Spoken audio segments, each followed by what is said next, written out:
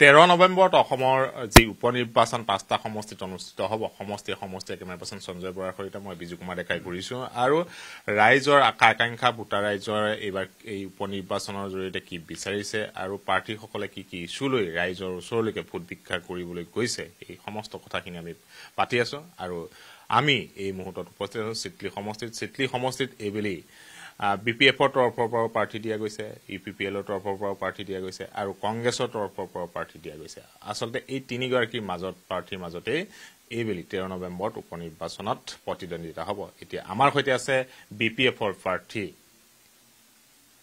তেওঁৰ সৈতে আমি পোনপটীয়াকৈ কথা পাতিম। যে কেনেধৰণৰ এই পৰিক্ৰমাটো আৰম্ভ হ'ব।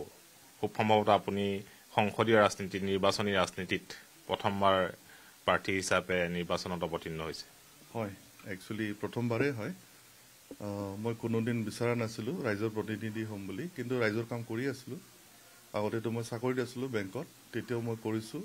কনফ্লিক্ট ৰিজলিউশ্যন বহুত সময়ত ল'বলগীয়া হৈছে। আৰু পিচ মেকাৰ হিচাপেও কাম কৰিব লগা হৈছে। হোম মিনিষ্ট্ৰীৰ ৰিকুৱেষ্টত মিডিয়েটৰশ্বিপ গ্ৰহণ কৰিছোঁ আগতে।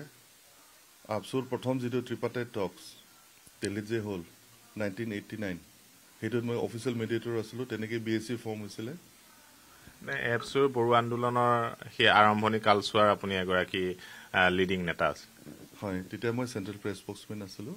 আমাৰ প্ৰেচিডেণ্ট আছিলে ছিনিয়ৰ লিডাৰ আমাৰ উপেন্দ্ৰনাথ ব্ৰহ্ম।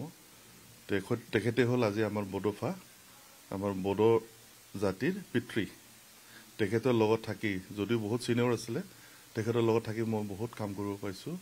তেখেতৰে মানে গাইডেঞ্চত বহুতখিনি মই বুজি পাইছোঁ বহুত বস্তু মই বুজি পাইছোঁ তেতিয়াই। আৰু বি এছ চি ফৰ্মেশ্যন মই অলপ আগতে ক'লোঁ সেইটো হৈ গ'ল বাৰু। তাৰপিছত আকৌ বি টি চি ফৰ্মেশ্যন হ'ল। তাতো মই অলপমান লাগি দিছোঁ মানে। আৰু বি টি চি যেনেকুৱা একৰ্ড হৈছে it's one of the best accord in India মানে এনেকুৱা প্ৰভিজন আছে তাত এইটো কনষ্টিটিউচনেলি কনষ্টিটিউচন প্ৰভিজনত হৈছে এইটো। চেণ্ট্ৰেল আইনত পাৰ্লিয়ামেণ্টৰ বিল পাছ হৈছে। তাৰপিছত বহুতখিনি ডেভেলপমেণ্টৰ কামো হ'ল। হাগ্ৰামা ছাৰ চিফ হৈ থাকিলে পোন্ধৰ বছৰ। ইণ্টেৰিমতটো আঢ়ৈ বছৰ সেইটো হিচাপ লৈ লাভ নাই। ভাৰত স্বাধীন হোৱাৰ পিছত ছাপন্ন বছৰ পিছতো আমাৰ এই অঞ্চলত একো প্ৰগ্ৰেছ নাছিলে একো ডেভেলপমেণ্ট নাছিলে। কিন্তু হাগ্ৰামা ছাৰে তিনিটা কাৰ্যকালত এনেকুৱা উন্নয়নৰ কাম কৰিছে আজি ৰাইজে এইটো বেনিফিটটো পাই আছে। ইউনিভাৰ্চিটি স্কুল কলেজ হাবি জাবি দলং ৰাস্তা গোটেইখিনি কৰিছে। তাৰপিছত এইবাৰ দেখা গ'ল বিছৰ পৰা বি টি আৰ চৰকাৰ একত হোৱাৰ পিছত। বিছত বি টি আৰ একত বুলি নকওঁ মই কাৰণ এইটো কোনো চেণ্ট্ৰেল আইন বা ষ্টেট আইনত হোৱা নাই। সেইটো জাষ্ট এটা কাইণ্ড অফ এগ্ৰিমেণ্ট তাৰপিছত তেওঁলোকে কিন্তু ট'টেলি ফেইলাৰ যিমানবোৰ ক্ল'জ আছিলে আজিলৈকে কিন্তু ইমপ্লিমেণ্ট নহ'ল। ডাঙৰ ডাঙৰ কথা আছিলে ৰাইজে বুজি পাইছে কিন্তু। বহুত ধৰণৰ মানে শ্বৰ্টকে মই ক'ম।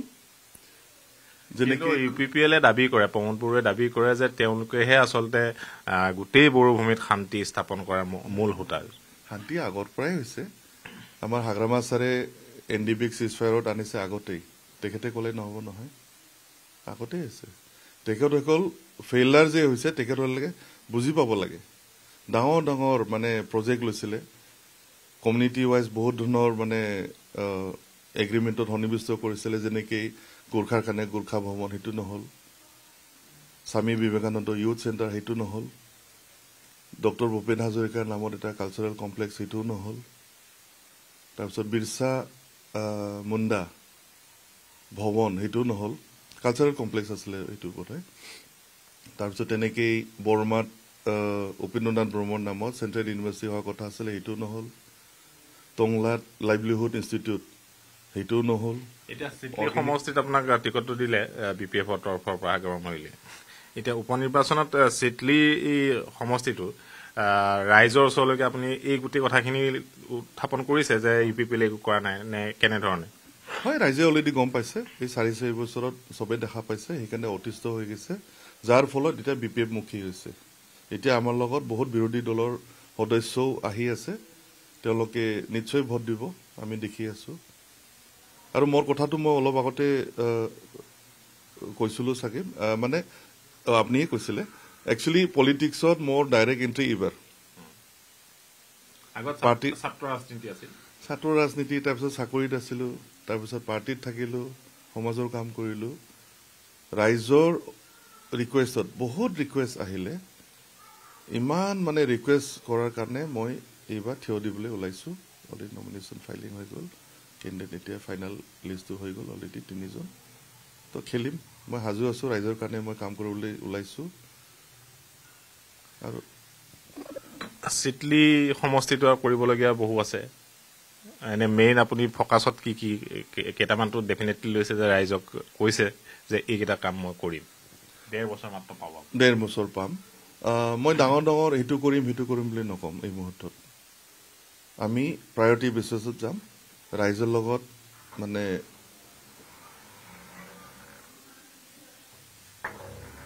ৰাইজৰ লগত আলোচনা বিলোচনা কৰি কি কৰিব লাগে নালাগে সেইটো মই থিৰাং কৰিম। এই যি উপ নিৰ্বাচন এই উপ নিৰ্বাচনৰ জৰিয়তে বি টি চিৰ পৰিষদীয় নিৰ্বাচনো আহি আছে। ইয়াৰ পৰা এটা বাৰ্তা যাব যে নেক্সট বি টি চি আপোনালোকে আকৌ দখল কৰিব পাৰিব নে নোৱাৰে? সেইটো এটা বড়ো আমাৰ বড়োভূমি ৰাইজে ডেফিনেটলি চাই আছে যে চিটলিৰ যি ৰিজাল্ট হ'ব এইটো হ'লেও এছেম্বলি ইলেকশ্যন তথাপিও এটা বাৰ্তা ডেফিনেটলি যাব যে চিটলি ৰাইজে যি ক'ব নেক্সট ইলেকশ্যনত তাৰ এটা এটা হেৰি পোহৰ এটা আহিব তাৰ পৰা জলক এটা আহিব যে নেক্সট এইটো হ'বলৈ গৈ আছে। হয় ডেফিনেটলি এইটো ডাঙৰ এটা ইম্পেক্ট আনিব। চবে চাই আছে যে চিডলি উপ নিৰ্বাচনত মানে যোনে জিকে তাৰ তেওঁৰে নেক্সট মানে চৰকাৰ হোৱাটো অলপ সম্ভাৱনা। তো আমি দেখি আছো উপ নিৰ্বা- নিৰ্বাচনত আমি জিকিম আৰু পঁচিছত বি টি চিত শাসনত আমি অহাটো অলমষ্ট পজিটিভ হৈ আছে। আৰু ৰাইজে বিচাৰিছে এটা ষ্ট্ৰং ৰিজনেল পাৰ্টি লাগে। আপোনালোকে জানে ইয়াৰ ৰিজনেল পাৰ্টি দুটা আছে আমাৰ বি পি এফ আৰু ইফালে U P P L U P P এলে এতিয়া এন ডি এত আছে এলায়েন্সত আছে। তেওঁলোকৰ এজেণ্ডাটো অলপ বেলেগ হৈ গ'ল। কিয়নো এন ডি এৰ যিটো কনষ্টিটুৱেণ্ট মেইন যিটো পাৰ্টি তেওঁলোকৰ এজেণ্ডাটো নেশ্যনেল এজেণ্ডা ৰিজনেল ফ'কাছটো কমি গৈছে। ৰাইজে এইটো বুজি পাইছে উন্নয়নৰ কাম হোৱা নাই। আৰু ইয়াত চাকৰি বাকৰি দিব পৰা নাই। বি টি চিত আগতে চাকৰি বাকৰি দিছিলে বি টি চিত চেণ্ট্ৰেল চিলেকশ্যন বৰ্ড আছিলে হাগ্ৰামা ছাৰৰ সময়ত বি টি চি একত মতে। বি টি আৰ এগ্ৰিমেণ্ট কৰাৰ লগে লগে চেণ্ট্ৰেল চিলেকশ্যন বৰ্ডটো ভংগ কৰি থৈ দিছে। এতিয়াহে অলপমান ৰিভাইভ কৰা বুলি শুনি আছো। চাকৰি বাকৰি তেনেকৈ দিব পৰা নাই। মাজত এই চাৰি বছৰ বহুত গেপ হৈ গ'ল। আদাৰৱাইজ আগতে ফৰ্টি পাৰ্চেণ্ট লোকেল ৰিজাৰ্ভ ৰাখি পেলাই বি টি চিত চাকৰি দিয়া হৈছিলে। এতিয়া কি হৈ আছে? চাকৰি আমাৰ ইয়াৰ পৰা যিহেতু নহয় দিছপুৰৰ পৰা এডভাৰটাইজ দিয়ে। এপইণ্টমেণ্ট দিছপুৰৰ পৰা হয়। গোটেই মানে মিক্স আপ হৈ গ'ল। আমাৰ বি টি চি এৰিয়াত বাহিৰৰ এমপ্লয়ী বহুত আহি গ'ল। মানে বি টি চিৰ বাহিৰৰ বহুতখিনি যুৱক যুৱতী চাকৰিত সোমাইছে। হৈৰাজ বি টি চি বাসী বহুত কমে পাইছে মানে। এইটো এটা ডাঙৰ এটা ইছ্যু কিন্তু। এতিয়া আপুনি আপোনাৰ প্ৰতিদ্বন্দ্বী কেইজনৰ বিষয়ে কওকচোন। পাৰ্চনেলি তেওঁলোকৰ কথা কোৱাটো ঠিক নহ'ব। দল কংগ্ৰেছ। কংগ্ৰেছটো যোৱাবাৰ এম পি ইলেকশ্যনত বহুত কম পাইছিলে। আমাৰ সমষ্টিত এঘাৰ হাজাৰ পাইছিলে। তাৰে ফিফটি পাৰ্চেণ্ট কিন্তু এইবাৰ যিহেতু পুৰণা সমষ্টি পুৰণা এৰিয়া মতে হ'ব বঙাইগাঁৱত যাব। তো ডেফিনেটলি তেওঁলোকে ইমান নাপায়। আমাৰ কণ্টেষ্টটো হ'ব ইউ পি পি এলৰ লগত। ইউ পি পি এল আৰু বি পি এফ সেই দুটাই মেজৰ হেৰি আৰু। মুঠতে এই পাঁচটা সমষ্টিৰ ভিতৰত কিন্তু এইবেলি আপোনাৰ চিটলি সমষ্টিটোৱে ভোটৰ সংখ্যা বেছি ভোটাৰৰ সংখ্যা বেছি দুই লাখ সোতৰ হাজাৰতকৈ বেছি। দুই লাখ পোন্ধৰ হাজাৰ। বহুত ডাঙৰ এৰিয়া আৰু মানে বহুত কষ্টকৰ এৰিয়াটো। কিছুমান এৰিয়া চাৰিওফালে নদী ৰাস্তা ঘাট নাই।